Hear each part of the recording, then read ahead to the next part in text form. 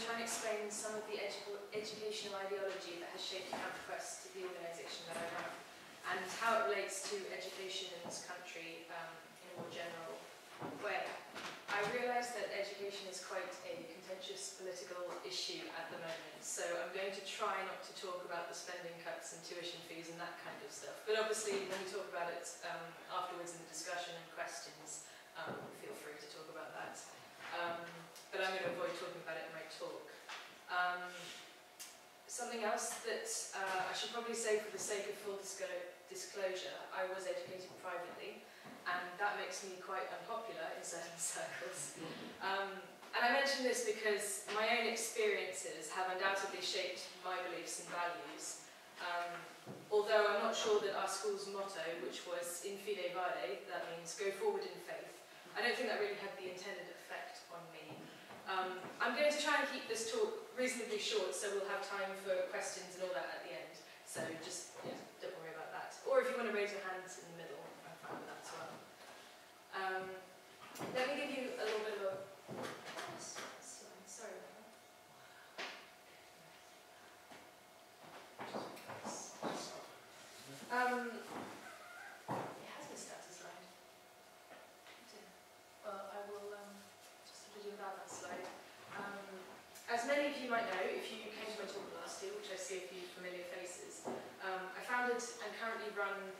Branch of CampQuest, and have done since 2009.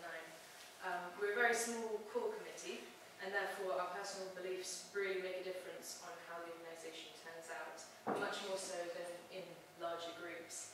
Um, just in case anyone didn't read the little blurb, it's a summer camp for the children of atheists, agnostics, and anyone who has a naturalistic rather than supernatural worldview.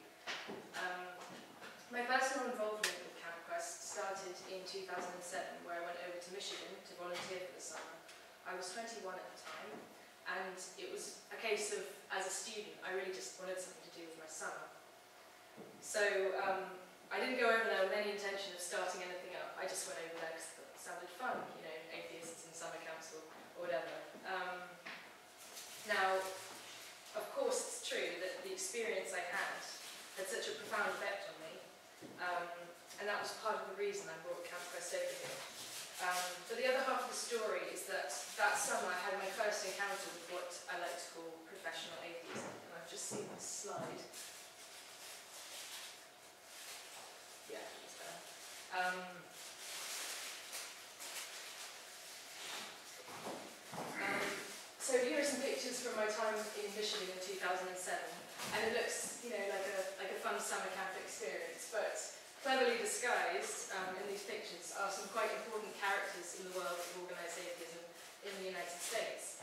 Um, the older gentleman in the top left picture, that's Edmund Kagan. He's the National Legal Director for American Atheists. This guy in the orange t-shirt is currently the president of American Atheists, and there's various other leaders of, um, of groups who were on staff that year. And um, I'm not saying this to just have a blatant name-dropping session what I'm trying to get across is that I went over there and I had no experience with any of these kind of groups. And I was, I was put in an environment with all these people who were very active in the world of um, professional, organised atheist activism. Um, so, just to give you a little bit of background about being an atheist in the United States, um, it's really rubbish.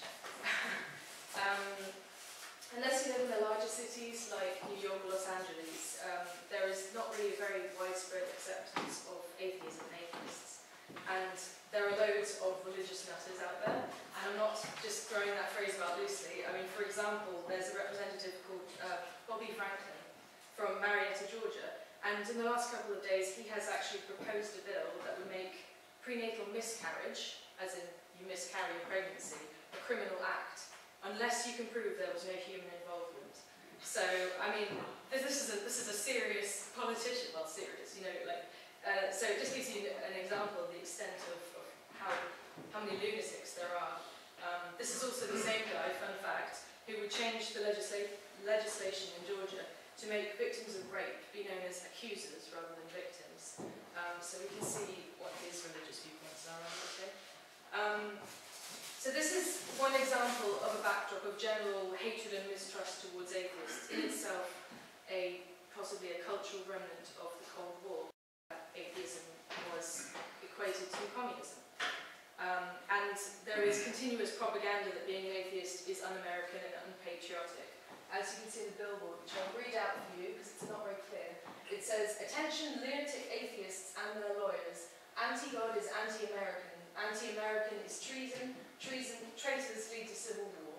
And from the looks of the address, that's from West Virginia.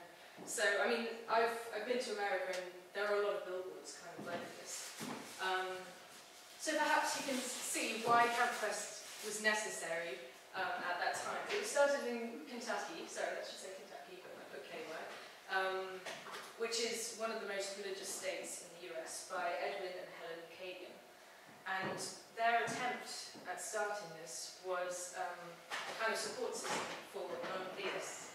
Um, they say, we attempt to provide our children with a nightlight in a dark and scary room, and to attempt to strengthen them to live in a world largely controlled by doctrines of faith, not by do doctrines of reason.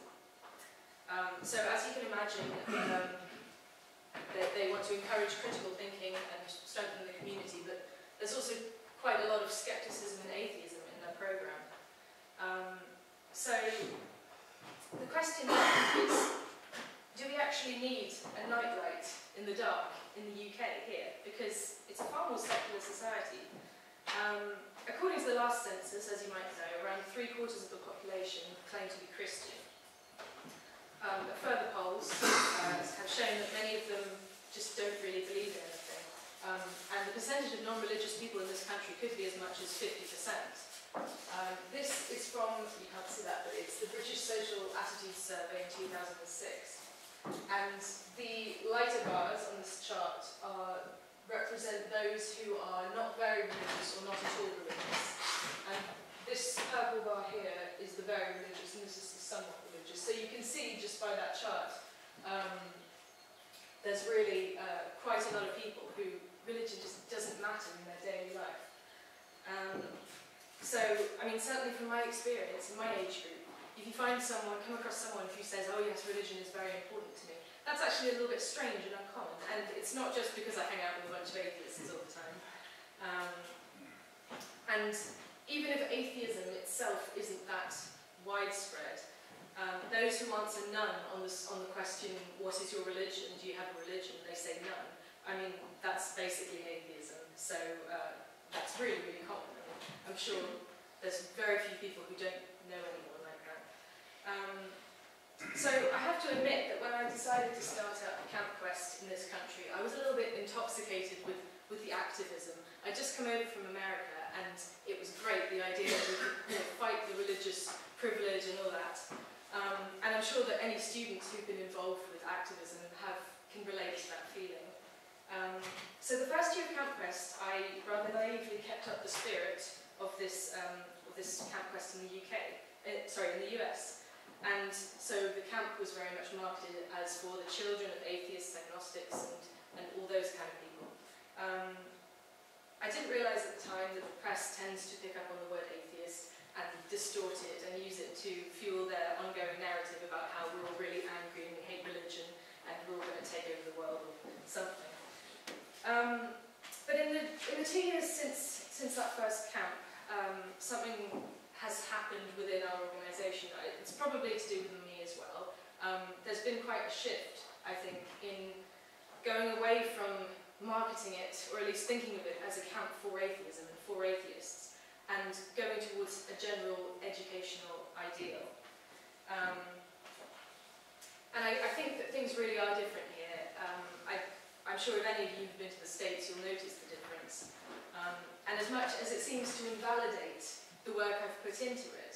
Um, I don't think we actually do need a safe haven or a, or a nightlight in the dark in this country, um, possibly with the exception of ex-Muslims who um, live in a largely Muslim community. Um, obviously, there exists the Council of Ex-Muslims uh, who actually cater for this very group. So I, I think in terms of community support, there's, there's not actually that much that we need to offer people. Um, so I, after the first year, I began doubting myself and asking, so why do we even need camp questions? Um, so I move on to the to the topic,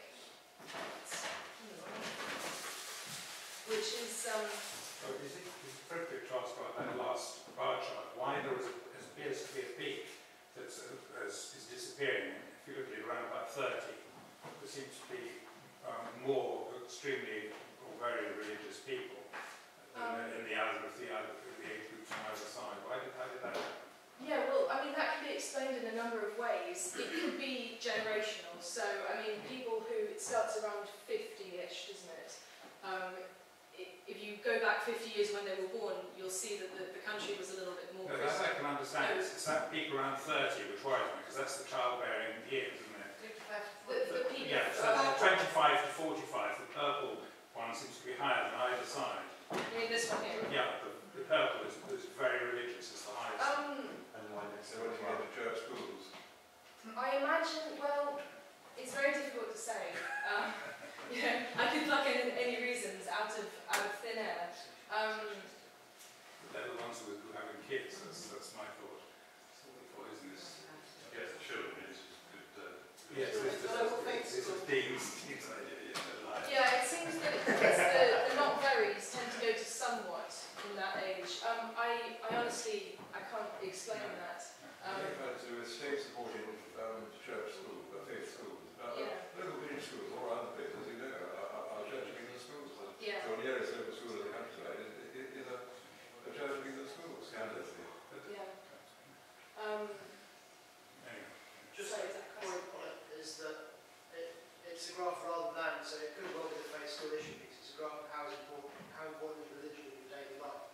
So if it means that your kids are in the school you want, then yes, it's very important, even though we Yeah. don't believe in any of it. yeah, that's It's a, still important to realise our kids. That's a good point. I mean, as you, if you've got kids, you know that oftentimes you have to be a bit deceitful to get your kids into a school if you want them to go to that school. So that could be one reason. That's probably the most likely reason, um, because it really goes down after that, doesn't it? hmm. Um, so yeah, I'm sorry. that's okay. So coming back to sort of why we need a Camp Quest in this country, um, kind of brings me on to the topic of the day, which is think about education. Um, and my own experience of education is that it tends to follow quite um, a similar template to other Western countries. Um, and that is sort of division into very distinct subjects. So, for example, all throughout my school life, I studied English literature, English language, um, modern languages, French, German, maths, sciences split into three, history, geography, music. Um, and, they, and they were very similar, and, and I think most schools, I don't think I'm, I'm wrong in saying that, that state schools in this country tend to follow quite a similar um, curriculum. Um, and in my experiences, there wasn't really an overlap between subjects. You had teachers in one subject and they taught you that subject, and the teachers in another subject didn't really overlap, even though there may be a good ground for overlapping between history and geography or, you know, um, modern art and, I don't know, maths. Um, yeah, that would work. Um, so they, they really stuck, they stuck to the book and we passed the exams and everyone was very happy and they congratulated themselves because, well, we're an amazing school and we get these results. Um, and it's strange that it doesn't really strike anyone as odd that we teach this way. We never seem to question why. Why are these subjects and not others? Why isn't philosophy or social science or architecture taught to seven-year-olds? Why is it history or geography? Um, and more importantly, why did I have to wait until I was 19 to be taught the scientific method, which is, to me, the most important part of science, um, and it's the most useful part for me in my adult life as a non-scientist. It's the most useful thing I could have been taught at that age. Um, and it's funny, I think maybe I've come to this realization because the educational path I've taken since leaving school has been stuff that just wasn't covered at school. I did psychology, I did sociology and anthropology, and I, I know you can take them at GCSE, but I'm not sure that they're very widely offered. Um, so I can see a few reasons for why this status quo have been maintained. Um, so the, the purpose of, of education, um, perhaps maintaining tradition because um, our parents were taught like that,